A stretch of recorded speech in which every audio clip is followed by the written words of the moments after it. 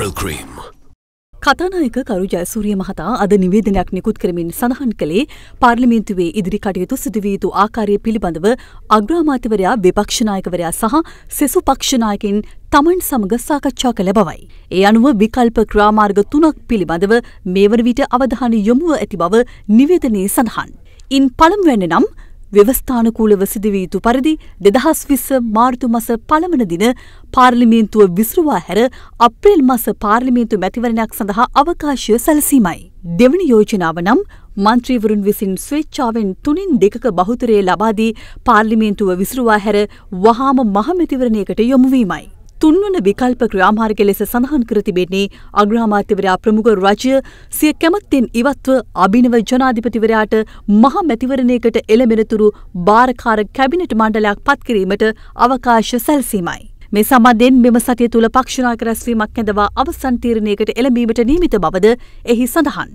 මේ අතර එක්සත් ජනතා නිදහස් සඳහනයේ මන්ත්‍රීවරුන් පවසන්නේ වහාම මහමැතිවරණයක් පැවැත්වීම සඳහා අග්‍රාමාත්‍ය රනිල් වික්‍රමසිංහ මහතා සිය සහය ලබාදිය යුතු බවයි. මේ වෙනකොට ප්‍රධාන ඇමතිදුරයක් වන රටේ මුදල් අමාත්‍ය දුරේ හිස් වෙලා තියෙනවා. තව ඇමතිවරු ගණනාවක් අස් වෙලා තියෙනවා. ඒ නිසා මම හිතනවා ආණ්ඩුක ව්‍යවස්ථාවේ ප්‍රතිපාදන තිබෙනවා. අමාත්‍ය මණ්ඩලය තිබෙන තාක්කල් පමණයි අගමැති දුරය දුරේ දරන්න පුළුවන්. එතකොට දැන් ප්‍රශ්නේ මතුවෙනවා මේ තියෙන අමාත්‍ය මණ්ඩලය එක එක්කෙනා මෙහෙම අස් වෙගෙන යනකොට ඇමති මණ්ඩලය විසිරුවා හැරනවද කියන ප්‍රශ්නේ. ඉතින් ඒක නිසා මේක මේ වෙලාවේ ජනවරම පිළි අරගෙන ජනාධිපති අපේක්ෂක සජිත් ප්‍රේමදාස මැතිතුමා සිය දුරෙන් සහ නියෝජ්‍ය නායකවරුන්ට ඉල්ලා අසුනා නම් මම හිතන්නේ අගමැතිතුමා තවත් මෙහි රැඳී සිටින එකේ තේරුමක් අපි දකින්නේ නැහැ. මම හිතන්නේ වඩාම නිවැරදි දේ පාර්ලිමේන්තුව තුළ සිටින ගරු මන්ත්‍රීතුමන්ලා 225 මහජනයාගේ මතය තේරුම් ගැනීමට තරම් කාරුණික වෙලා ඔවුන්ගේ පුද්ගලික ප්‍රතිලාභ වාසි අරමුණු සියල්ල අත්හැරලා රට පැත්තේ හිටගෙන ජනතාවට ආණ්ඩුව තෝරා ගැනීම සඳහා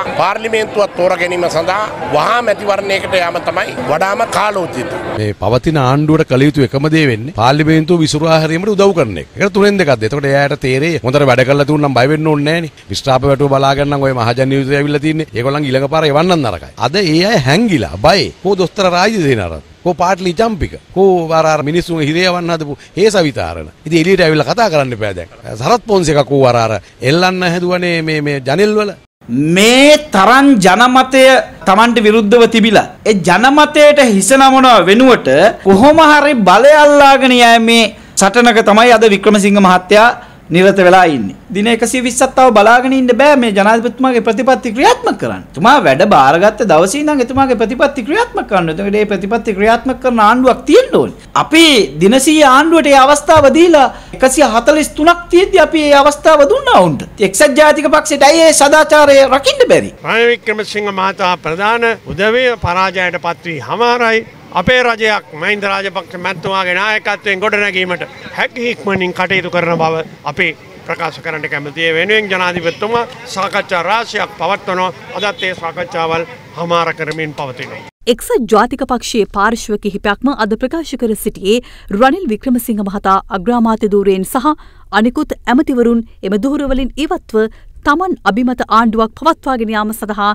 නව ජනපතිට ඉඩ සැලසිය යුතු බවයි. මේ ආණ්ඩුව මේ පාර්ලිමේන්තුව මාර්තු මාසෙ වෙනකන් යන්න පුළුවන්. ඒක නවත්තන්න කාටවත් බෑ. හැබැයි ආණ්ඩුවේ ඉන්නවද නැද්ද කියන තීන්දුව ගෝඨාභයලත් එක්ක කතා කරන්න ඕමනවක් නැහැ රනිල් වික්‍රමසිංහ මහත්තයා. ඒක අපිත් එක්ක කතා කරන්න ඕනේ. හෙට සාකච්ඡා කරලා ඉන්දුවක් ගන්නවා කියන. මොනවද හෙට සාකච්ඡා කරන්නේ? පැය 24ක් නැහැ පැයක්වත් ඉන්න ඕනේ නැහැ මේ ආණ්ඩුවේ. වහම ඒගොල්ලන්ට බාර දෙන්න ඕනේ. ඒගොල්ලන්ට ඒගොල්ලෝ වැඩේ කරන හැටි බලන්න. අපිට ආරංචි එතුමා කියලා තියෙනවා.